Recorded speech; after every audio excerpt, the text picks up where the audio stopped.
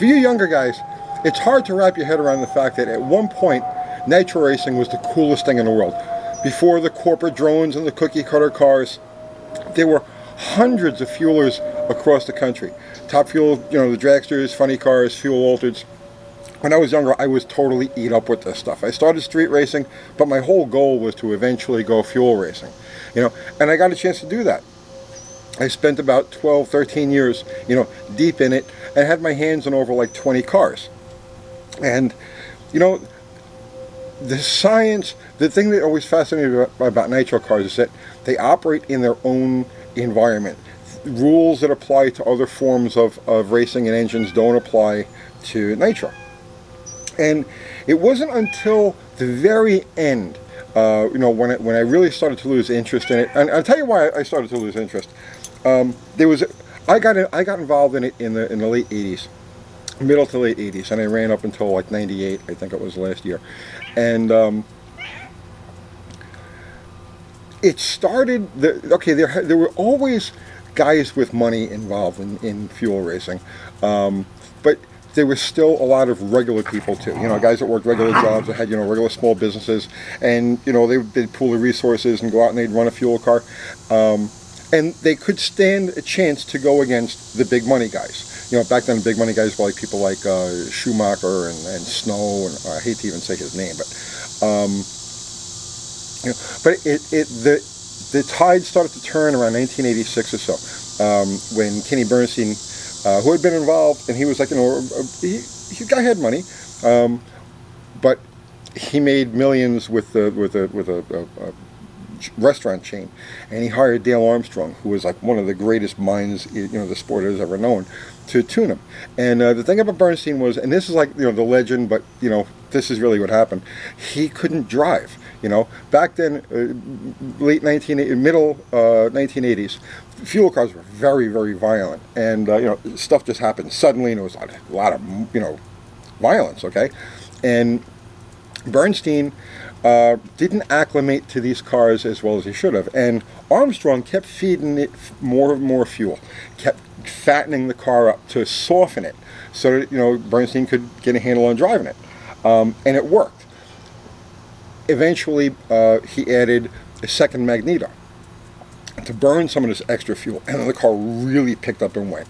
So what happened was he, the, that revolution, um, that was the turning point between, you know, the, the, the, the, violent, cool, fun cars of, you know, the, let's say the 60s, the 70s, and the early 80s, and the ones that we have today. And that's pretty much like where I came along. I came along just as this revolution was getting started. And also uh, the, the Racepak computer, that was brand new too. I was working for Jerry Caminito when Ray Alley first introduced that computer. We actually had the very first Racepak on a car. This was in Gainesville in like 1986 or 1987. And um, again, that was like the beginning of the end. I started to really lose interest when I was, we were uh, trying to qualify for a national event. I forget which one it was. And um, we were there with a ramp truck, and it was, it was me and, and, and my partner, and just a couple of guys in t-shirts. And we had a ramp truck, and we had all the basic stuff, all hand tools, you know, stuff we scrounged out of the garage and you know, went.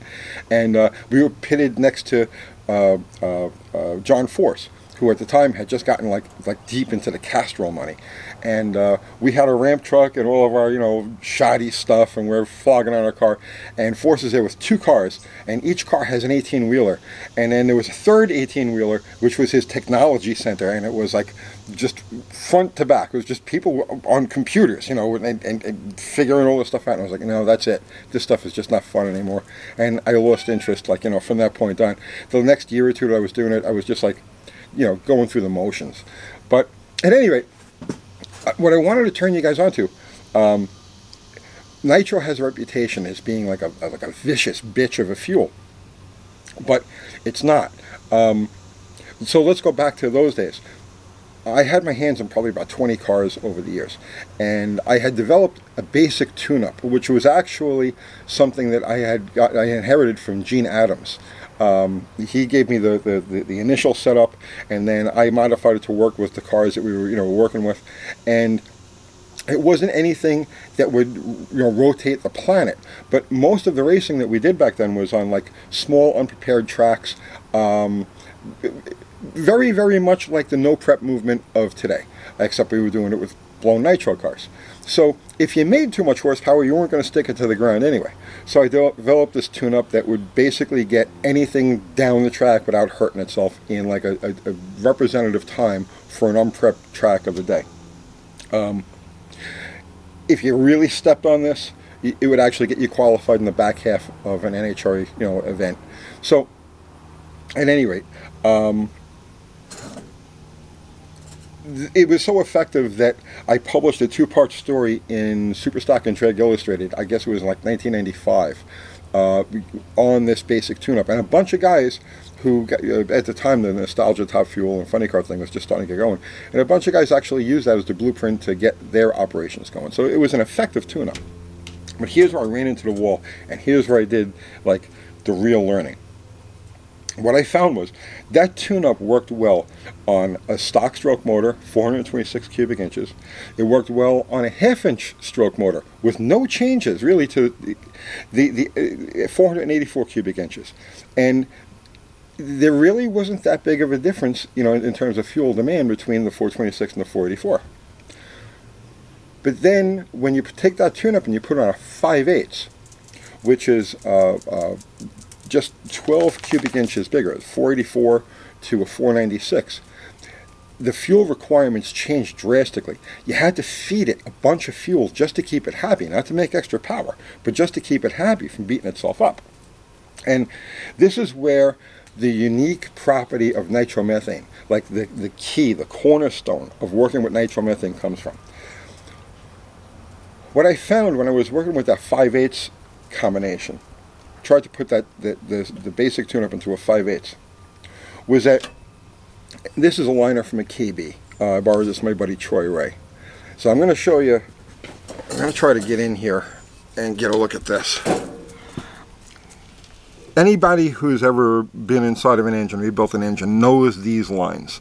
These are compression witness marks from the top of, you know, the top of the stroke, the piston comes up, and when when when the mixture lights, it compresses, it, it, it, expands the rings into the cylinder wall and it digs these little lines in. And over a couple hundred thousand miles, they become like a ridge. You know, you're familiar with that. Here's the thing about nitromethane. Here's the bottom of this same liner, okay? And if you can see right here, there are two witness marks that match the top ones. So in other words, you've got the compression pulse, or the, you know, the, the, the pressure pulse that comes with firing it. It expands the rings. But then when you get to the bottom, there's a second pulse that expands the rings again. So why did the 5 8 motor require so much more fuel to be happy than the half inch motor? The bores were the same, only 12 cubic inches in difference. Why did it take 15 to 20% more fuel to keep the 5 8 motor from detonating itself.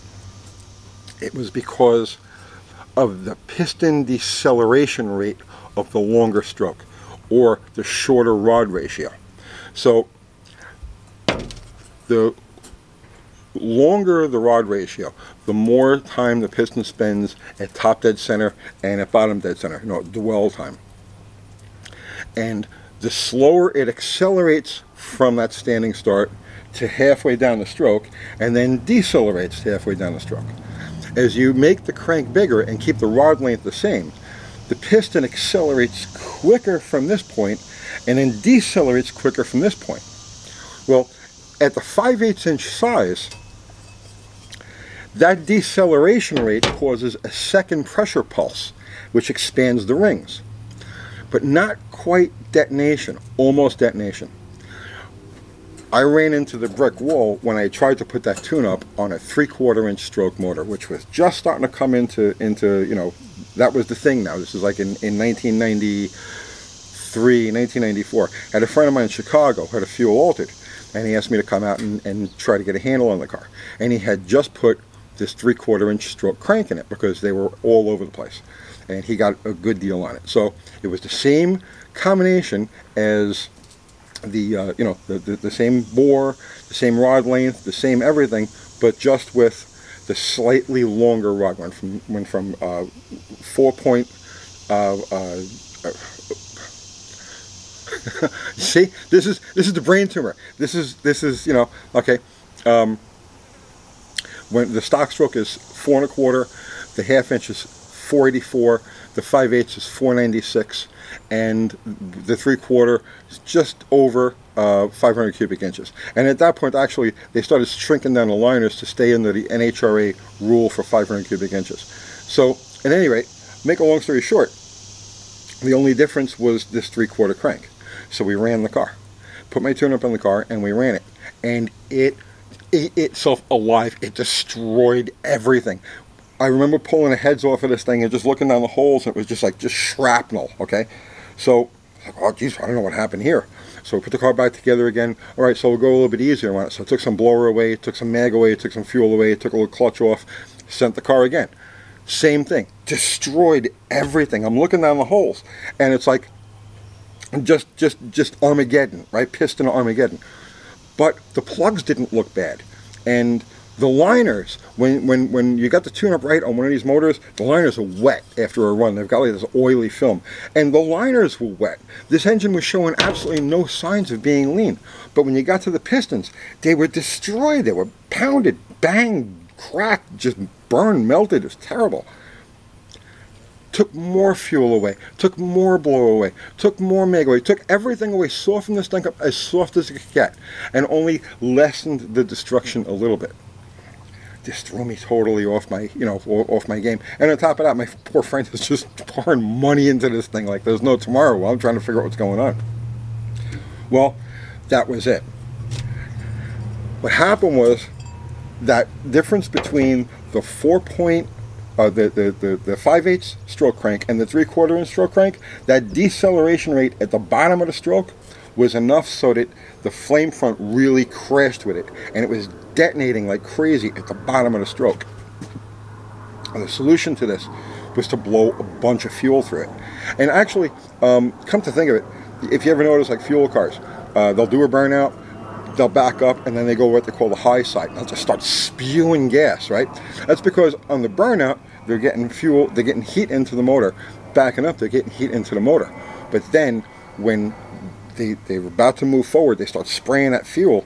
What that's doing is they're literally hosing that motor down to cool the pistons down and get all of the temperature out of the engine to avoid that bottom hole detonation. So my the, the quick formula you know that I came up with with this is the the exhaust valve opening point is directly tied to the rod ratio.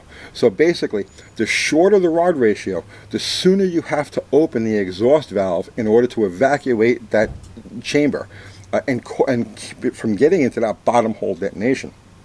And of course, running a bunch of fuel through it uh, to keep everything cool. It's that combination of things. Um, and again, like I said, at that point, I had really run out of interest in it. Like, you know, the, the, the, the, colorful guys were gone, the colorful cars were gone, the small events that we used to be able to go to and, and, and you know, and, and, and do our thing on an unprepped track or, or a barely prepped track, those days were gone. And all the, you know, the fun was gone. It was just over. So at, you know, at that point, I was like, you know, I'm done. So, uh, and you know, I, I never looked back, but at least I had the experience. It was a fun experience. At any rate, I don't know, I just figured I'd share it, guys, uh, share it with you guys. And, uh, back to doing things like slant sixes and nitrous 318s. I'll see you tomorrow.